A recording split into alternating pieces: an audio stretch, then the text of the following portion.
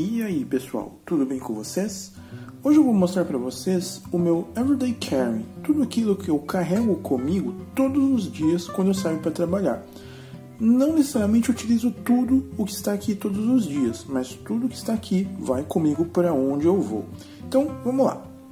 Começando aqui com o meu smartphone principal, que é o Samsung Galaxy S23 Ultra. Ele é o meu aparelho atual, né? Antigamente eu estava com o S21 Ultra, que é um ótimo aparelho ainda, mas eu senti necessidade de fazer um upgrade. Por quê? Por causa da bateria. A bateria ela não estava aguentando tanto a minha necessidade diária né? E esse aqui eu basicamente saio de casa com próximo do 100%, normalmente 96, 94%. Chego em casa ali ainda com os seus 66, 70%. Então tem funcionado muito bem para mim. Fora que eu chego em casa, consigo jogar, levo até o final da noite coloco ele para carregar e daí deixo ele passar a noite ao lado da cama, fora do carregador, e ele vai chegar no dia seguinte com 98, 97%, isso quando não tem ainda 99%. Então ele é excelente. Uma coisa que eu tenho utilizado muito pouco dele em relação às câmeras, né? Não tenho utilizado muito para tirar fotografia, porque não tem dado muito tempo também. Porém, em relação a todas as atividades de produtividade, especialmente com relação ao meu trabalho atual, ele tem me atendido perfeitamente. Para proteger esse carinha aqui, eu coloquei aqui uma película é, original da Samsung e para proteger o corpo dele, eu estou utilizando aqui ó, uma case, uma Spigen Ultra Hybrid é, Zero One, né? Ele, infelizmente não tem para outros modelos da Samsung. O S23 Ultra é, foi o primeiro, se não me engano. Eu acho que deve ter para o S23 e para o S23 Plus, não tenho certeza. Essa parte de dentro aqui ela é um pouquinho áspera, então por segurança mantive a película que veio na parte de dentro aqui, né? Eu só cortei aqui, ó, aquela partezinha azul e mantenho aqui o aparelho protegido desta forma, fica bem legal, fica bem bonito e estiloso. Ando também todos os dias trabalhando com o meu smartphone secundário, na verdade sem querer ele virou. Esse aqui é um Galaxy S8, olha que bonito que ele é até hoje, né? O S8, o S8 Plus, é, o Note 8, eles foram modelos muito bonitos, os primeiros com leitor de íris, é, que depois foram aperfeiçoados no Note 9, no S9 e depois a Samsung removeu, não sei porquê. Né? E eu tenho utilizado ele basicamente para me comunicar no trabalho, então meu WhatsApp de trabalho, inclusive o WhatsApp aqui do canal, está sendo respondido atualmente por esse aparelho aqui. Mas eu utilizo ele principalmente em relação aqui ó, ao GPS, porque muitos dos meus trabalhos são em locais muito remotos, eu tenho que me deslocar de carro, né? Então, preciso do GPS para fazer esse deslocamento. E ele tem me atendido bem. Então, está com o chip secundário, o chip que eu utilizo para me comunicar com vocês via WhatsApp e também para me comunicar com é, os produtores que eu atendo. Né? Então, eu utilizo esse aparelho aqui. E daí, para proteger ele, esse aparelho aqui é o aparelho da minha tia, na verdade. Né? Ela me deu, ela voltou do Japão. Esse aqui é um aparelho, ó vinculado a uma, a uma empresa de telefonia lá do Japão chamada AU. E embora minha tia tenha solicitado o desbloqueio, eles não desbloquearam. Então, para eu conseguir fazer ele funcionar, eu instalei aqui o firmware da Docomo, uma outra empresa de telefonia que também trabalha lá no Japão. E daí agora eu consigo utilizar. Coloquei aqui em modo avião porque quando eu saio do trabalho, desativo tudo, ninguém entra em contato comigo. Né? Só quem tem o meu número pessoal, que daí não é de trabalho, que é o que eu utilizo no smartphone principal, consegue falar comigo, mas de trabalho fica desativado de final de semana. Hoje é domingo, então não vai realmente ninguém conseguir falar comigo. Para proteger ele, comprei aqui um kit com uma película e uma capinha. Capinha bem simples, de TPU, transparente, bonitinho até, protege bem a película é meio ruinzinha, né? Eu inclusive reclamei com o vendedor lá. É, ela fica pegando aqui nos cantinhos. Não é essa minha reclamação, minha reclamação era outra, né? É, daí o que, que eu fiz? Para que os cantinhos não fiquem subindo, eu fui ali com o estilete mesmo e fiz um corte aqui. Claro que eu não pus força, né? Fui passando bem devagarinho, cortei a, a parte ali da película e não danificou a tela. Apesar que a tela já tem aqui o seu burn-in, né? Não sei se vocês conseguem ver, mas tem umas linhas de burn-in aqui. Junto com o meu smartphone, eu utilizo também o Galaxy Watch 4. Nesse caso, o 4 Classic de 46 milímetros. O meu anterior era o de 44. O que, que eu fiz com ele? Vendi. Só que eu comprei ele por, se eu não me engano, 400 e alguma coisa ou 500 e alguma coisa. Vendi ele por 600 e comprei esse aqui por 600. Então, no final das contas, é como se eu tivesse tido um cashback, né? Até tive um dinheirinho a mais. Então, eu ganhei mais do que perdi. Então, eu acabei comprando ele. Só que vocês estão vendo que ele tá meio diferente, né? A pulseira não é a normal para ele. A cara aqui da caixa do relógio tá diferente, porque eu coloquei uma case. Tem aqui, ó, esse bezel que me permite mexer ali. A caixa dele está diferente por causa de uma case. Esta case aqui eu já mostrei, eu utilizava ele no Galaxy Watch 3. Para o Galaxy Watch 4 é, de 44mm, de 40mm não tem, porque ele não vai ter isso daqui, ó. Eu utilizava outras cases que eu coloquei à venda, inclusive. Se você tiver interesse, Acesse aqui o link para os meus itens à venda no Mercado Livre, que logo logo ele deve aparecer lá. Voltei a utilizar aqui. Eu sinto muita falta de utilizar aqui ó, o Bizel. Isso daqui me facilita bastante. Então eu preferi adquirir o 4 Classic e fiquei bem feliz novamente. e devo continuar com ele, né? Até porque o 6 parece que é um 4 é, melhorado, certo? Ele me atende bem. Eu vou continuar com ele, inclusive. Acho ele bem bonito. A bateria dele não dura muito tempo, dura um dia e meio mais ou menos para mim, só que só se utilizar ele sem carregar em momento algum. Mas quando eu tô tomando banho, fazendo alguma coisa em que eu não vou estar com ele no pulso, eu ponho ele para carregar, então ele nunca fica sem bateria. Nunca chega a 100%, mas também nunca fica zerado. Então, utilizo ele. Se vocês acompanham o canal há mais tempo, vocês já devem ter visto utilizar isso daqui, ó lá no Galaxy Watch Active 2 ou no Watch 3. Agora não lembro qual dos dois, para qual dos dois que eu comprei isso daqui. Isso daqui é um carregador portátil, né? Então você desacopla aqui, liga ele em qualquer entrada USB e ele vai fazer o carregamento. Só que no Watch 4 não funciona, provavelmente no 5 também não e com certeza no 6 também não vai funcionar. Só funciona no Watch 3 para trás. Agora eu não lembro se no 3 funcionava, no Active 2 funcionava, eu acho que no 3 também. Só que eu descobri que se eu utilizar aqui, ó, os meus fones de ouvidos atuais, que é o Galaxy Buds 2 Pro, eu consegui achar ele num precinho muito baixo, numa pessoa que estava querendo se livrar logo, não estava conseguindo vender. Então eu comprei ele super barato, é, é, muito barato em relação ao preço que estava ali na Samsung, né? Achei no Mercado Livre, lacrado com nota fiscal. E se eu colocar ele aqui, ele carrega, certo?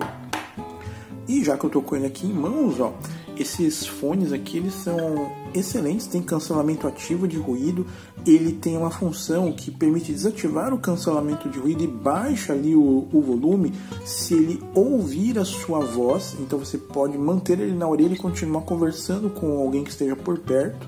Né? Isso aqui é bem legal. Tem a função de áudio 360, você consegue ouvir ali os graves, os, os baixos e os agudos, assim, com uma definição excelente. Então, esses aqui são os meus fones atuais. Eu não tenho a menor ideia se ele realmente dura ali as 4, 5 horas que a Samsung diz, porque eu não fico tanto tempo assim ouvindo música, nem podcast. Na verdade, atualmente eu ouço mais podcast. Por quê? É... Chega uma hora que cansa, né, de ficar com um negócio na orelha. Então, não fico todo esse tempo. Então, não sei se dura tudo isso mesmo. Pelo menos as duas horas que eu utilizo ele, quase todo dia, ele me atende muito bem. Fora que ele é bem bonitinho, tá chegando uma case que ajuda a prender aqui, ó, tem um uma espécie de uma chave que se aperta e ele permite abrir, né? Que não chegou ainda, mas tá a caminho. Então, esses fones aqui são sensacionais. Para eu poder utilizar este carregador aqui, ó, sem depender de um computador ou qualquer coisa desse tipo, eu tenho esta Power Bank aqui que eu acho que eu tô com ela desde 2017 ou 2018.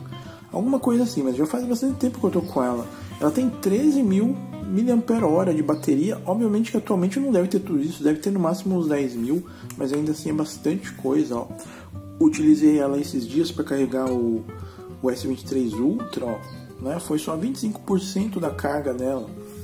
Então ela é excelente. Ela tem aqui, ó, esse, essas duas saídas, uma de 1 ampere, outra de 2.1 ampere. Normalmente eu utilizo essa daqui. Inclusive para utilizar este carregador aqui. Conecto ali, coloco o Bud 2 Pro em cima e mando ver aqui na, na carga, né? Então isso daqui é muito legal, fora que ele tem uma lanterna aqui, ó. Né? Tem uma lanterninha. Né? Isso aqui é muito legal. Para carregar ele, precisa de uma entrada USB normal aqui, né? Micro USB para poder ligar na tomada, certo? Tem um carregador que eu uso só para fazer isso aqui, inclusive. Mas ele demora muito para descarregar, demora muito mesmo. É uma powerbank bastante robusta e de tão boa que ela é, tô com ela até hoje, né? Nunca me desfiz.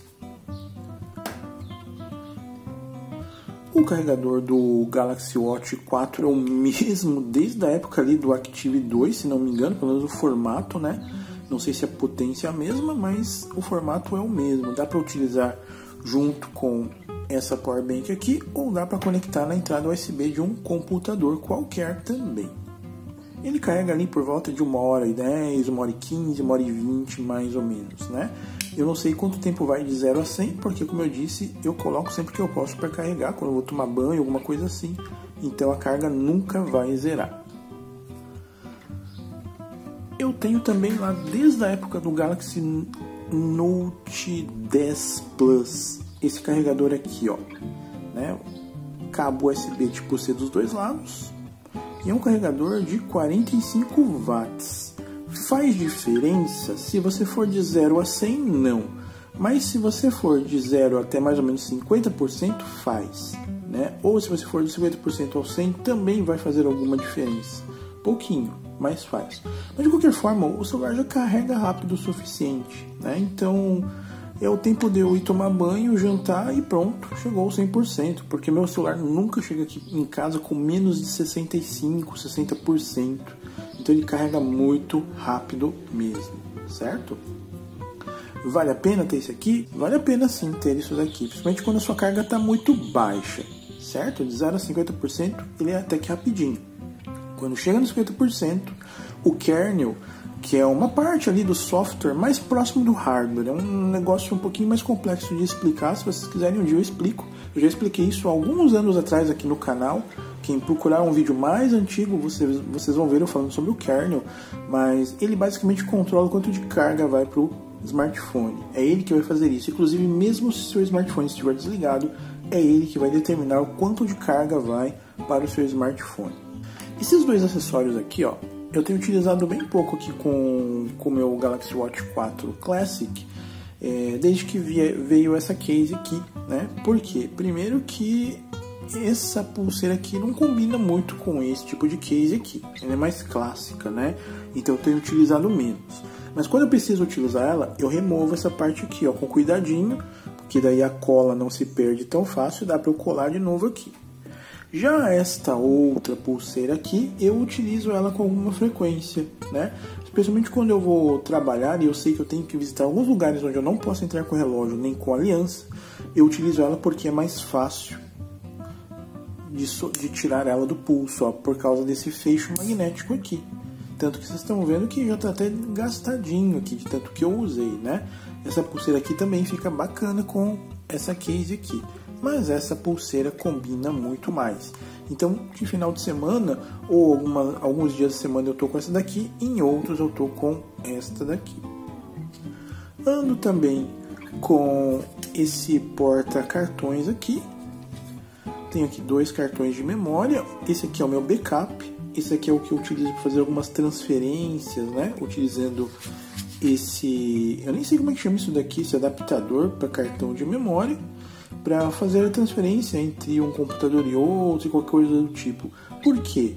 Eu até prefiro ter os pendrives, mas aqui eu também posso colocar isso aqui dentro de um smartphone que tenha suporte a esses cartõezinhos aqui. Né? Então, eles são isso aqui é bem útil para mim ainda. Logo logo não vai mais ser, porque meu S23 Ultra já não tem mais entrada para cartão, então já não me serve tanto assim.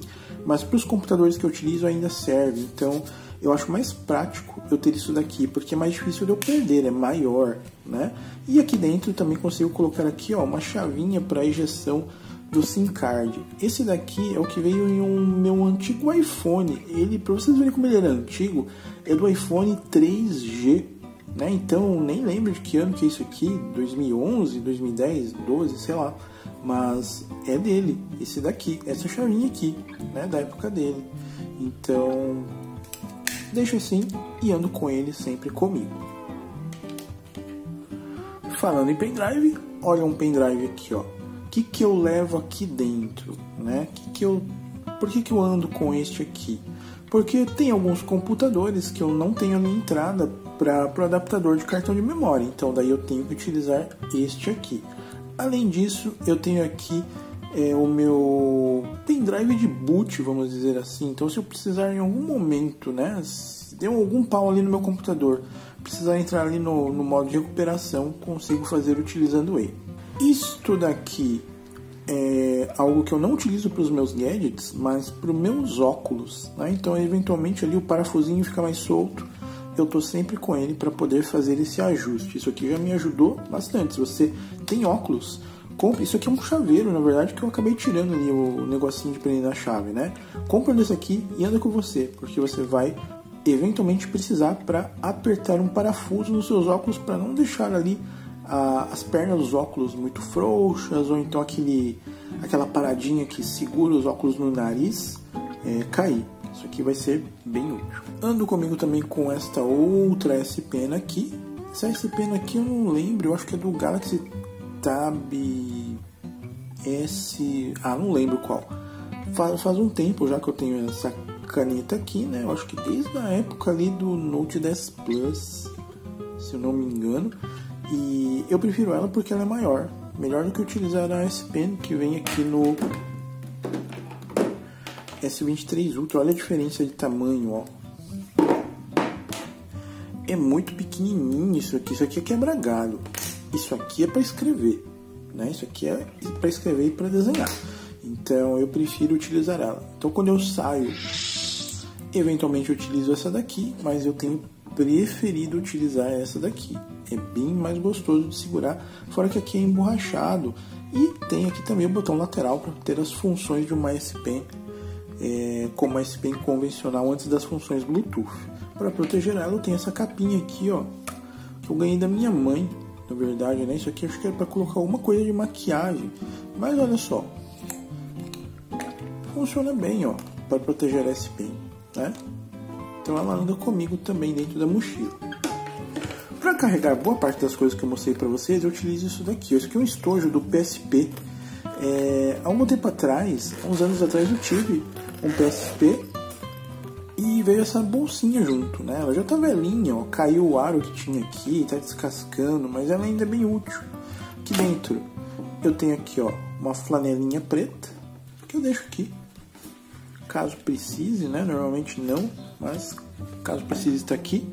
Daí aqui dentro. Coloco aqui o porta-cartões, coloco aqui meu kit de chaves de fenda para os óculos, o meu pendrive aqui, coloco uma das pulseiras aqui, coloco a outra pulseira de couro aqui,